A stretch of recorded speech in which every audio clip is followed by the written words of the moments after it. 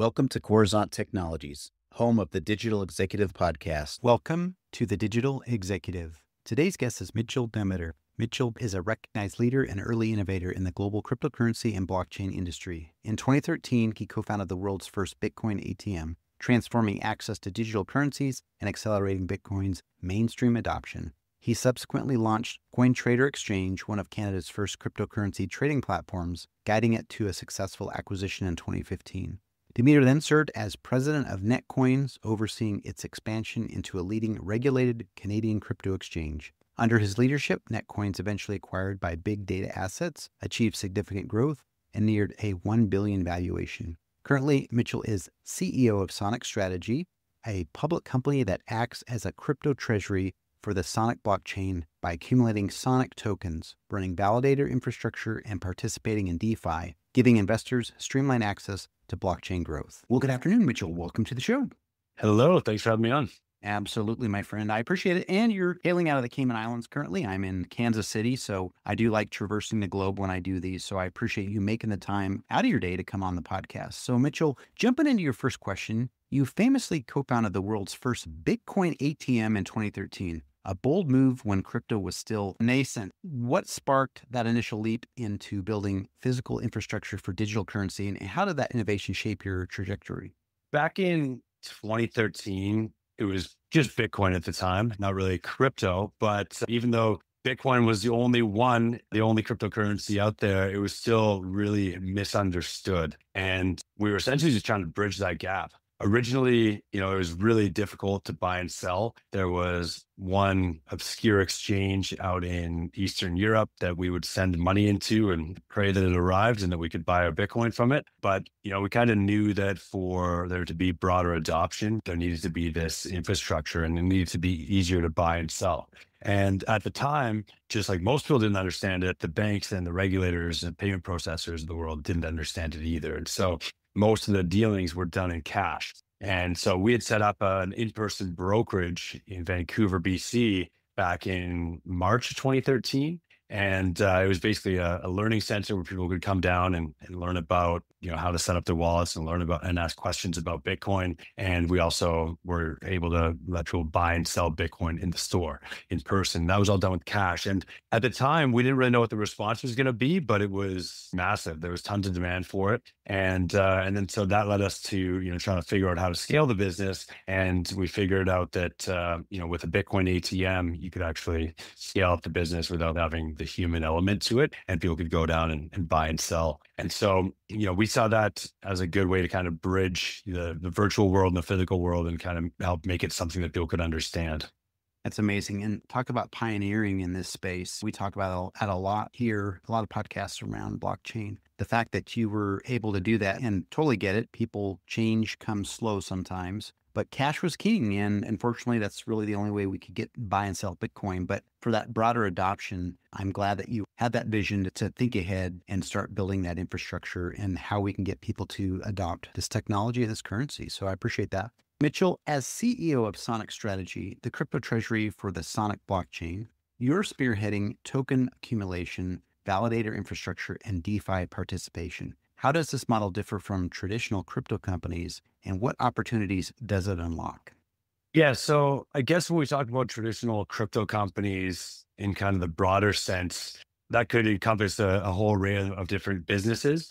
After the Bitcoin ATMs, I, I built a crypto exchange in Canada, which we sold into a public company. And then more kind of 2018 to 2021, I built another crypto exchange called Netcoins.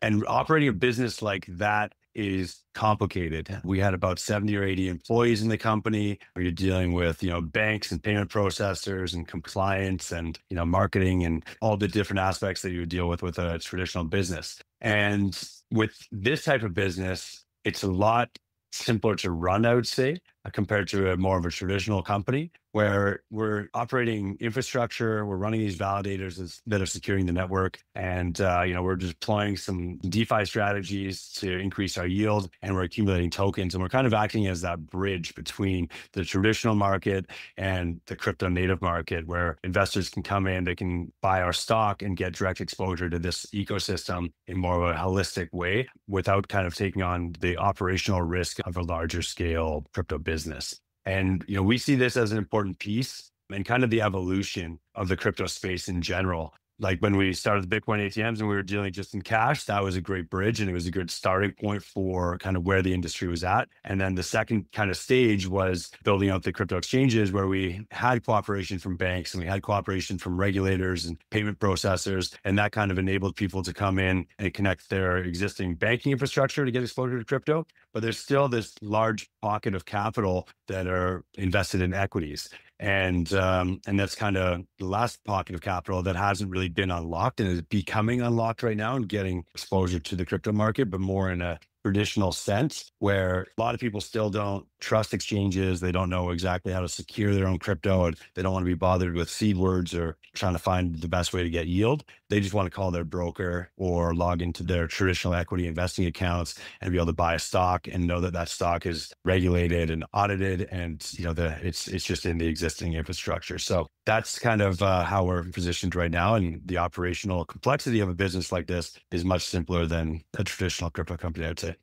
That's amazing. I like talking to people, entrepreneurs, founders that are visionaries in this space. And it started out, you had that vision early on. Not only did you build one, but you built two crypto exchanges in Canada, which I thought was pretty cool. But your platform, as you said, is like a bridge from the traditional TradFi to that crypto native environment, building more adoption. And you did mention, I'll highlight, you know, while crypto has penetrated most traditional investment markets and verticals, you're working to get adoption around equities as well, which is certainly amazing. So thank you. Mitchell, the Sonic blockchain offers lightning fast throughput and developer incentives that rival Ethereum and Solana. From a technical and ecosystem perspective, what makes Sonic uniquely positioned for growth and how do you see it evolving? We've been investing in in this ecosystem for a few years now, both personally and, and in another company that I was part of as early as 2020. And so we've got to know the team that's been building this blockchain. They had another project or kind of the MVP of, of this blockchain was called Phantom. FTM was the ticker. And back in December of last year, they did a full chain upgrade to Sonic. And now with this upgrade, they can handle about 10,000 transactions per second, whereas something like Ethereum can do about 15 to 20 transactions per second. And those transactions are, are final after about 200 milliseconds. Whereas with Ethereum, it, it can be 10, 20, 30 seconds or even longer. And then there's other blockchains like Solana that are that are fast, but uh, but Sonic has kind of gone one step further, and they've built in some really cool innovations where they've got a program called fee monetization, where 90% of the blockchain fees that are generated on chain by an application actually go back to the application. So that structure is is a little bit more like the YouTube business model, where the content creators that are driving the engagement and, and the ad revenue get a percentage of that revenue back. So that's a really cool innovation that we like. That's uh, that's driving a lot of adoption and bringing a lot of developers over to the to the blockchain. Also, the fact that it's compatible with Ethereum in the industry, we call this EVM compatible. So basically, Ethereum was built in a specific language, and the majority of the kind of activity that's happening on chain right now is still happening on Ethereum. Solana has been taking some market share from that in two different programming language. And so for uh, an application to move from Ethereum over to Solana, they need to completely rebuild their application in a new language, which is a bit of a barrier. And so Sonic is completely compatible, but offering those faster block times, higher throughput, and cheaper transactions, and overall just a better user experience. On top of that, there's a fee subsidy program that Sonic is rolling out where essentially the application or the wallet can subsidize the on-chain gas fees for the users. So anyone that's used Ethereum would kind of be familiar with this pain point. But right now, if I were to send you $100 of USDC or USDT, a stable coin on Ethereum, I would actually need to send you a few dollars worth of Ethereum as well in order for you to be able to move that Ethereum out of your wallet. Um, so that's a big friction point that a lot of people don't like, and it's it's not the best user experience. And with Sonic, they've made it so that the application or the wallet can actually subsidize and pay that fee to take that pain point out. They've also innovated in a few ways where one thing that they call account abstraction, which basically removes the clunkiness of onboarding a user into Web3, where you'll be able to register with your email or log in with your Google, your G Suite, and kind of remove that need for writing down or recording seed words. So a lot of the kind of clunkiness that has been in Web3 and hasn't really been worked out over the last 10 years is being solved by Sonic. Additionally, their co-founder is a gentleman named Andre Cronje, and uh, he's known as the godfather of DeFi. He's actually responsible for a lot of the primitives that uh, that are used across all of the DeFi projects and across multiple blockchains. He's been founder of multiple multi-billion dollar blockchain projects over the years. And he's actually coming out, out with another project this fall called Flying Tulip, which is basically a full on-chain decentralized exchange that will compete directly with the largest centralized exchanges in the world, where we'll have on-chain spot trading, we'll have perps, have borrowing and lending options, and a few other features on there that uh, that'll all be built on Sonic.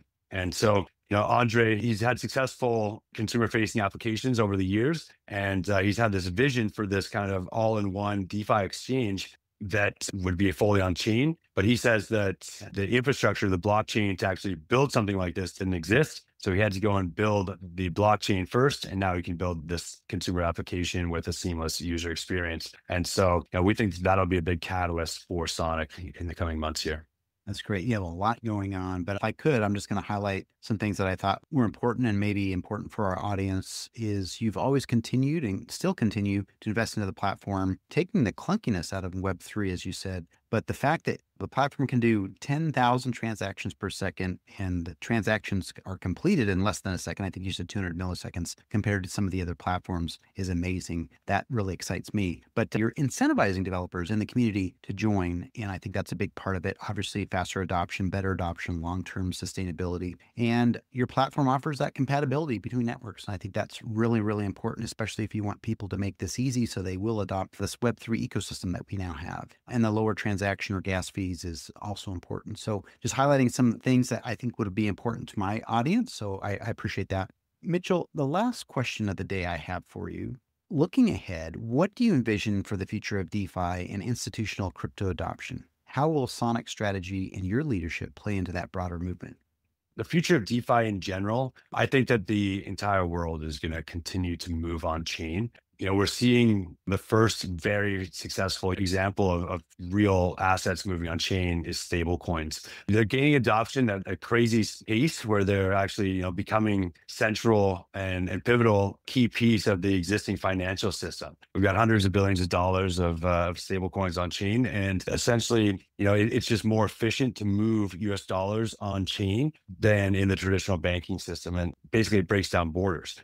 And so that's the first good use case. But where I see this going is having equities on chain, having insurance on chain, having real estate on chain, basically borrowing, lending, everything that we see and use in the traditional financial system will come on chain. And there needs to be a blockchain that can kind of support that mass adoption and handle the throughput. And, you know, right now, Sonic is building in that direction. Obviously, it's a competitive space and there's uh, you know there, there's some other great tech out there but ultimately it's a it's a technological race that uh, that we think sonic is well positioned for. And where we see our company kind of fitting in here is we're taking that directional bet on sonic. And our investors are, are buying our stock and investing with us to get that direct exposure to sonic. And you know right now Ethereum being the leader, they're sitting in around a 500, 550 billion dollar market cap. Solana being, you know, number two is sitting in around like 100, 120 billion dollar market cap. And right now,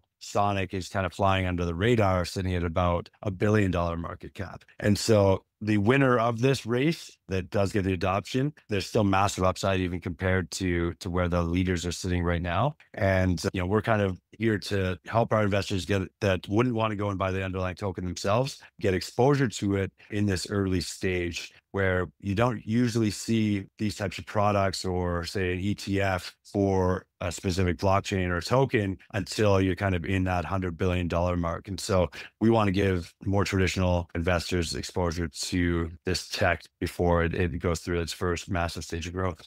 Exciting news for that. And you're doing so much. And again, I think you're one of the pioneers, just highlighting a few things. I definitely see, I agree with you, the future where the world does really adopt this and everybody will be moving on chain. With the faster adoption with these stable coins, and we're seeing that, especially in the recent administration, we're seeing a just a strong adoption in this space. Obviously, that means faster adoption, trading without borders, a lot of great things out of this. The fact that you highlighted adoption really include those real world asset industries industries like real estate. I think that's important as well. And I honestly think in the next five years, this will kind of be the, the norm as far as transactions and people just having a Web3 wallet. And that's kind of where the future is. So I appreciate that. Mitchell, it was certainly a pleasure having you on today. And I look forward to speaking with you real soon. Beautiful. Really appreciate your time. Bye for now.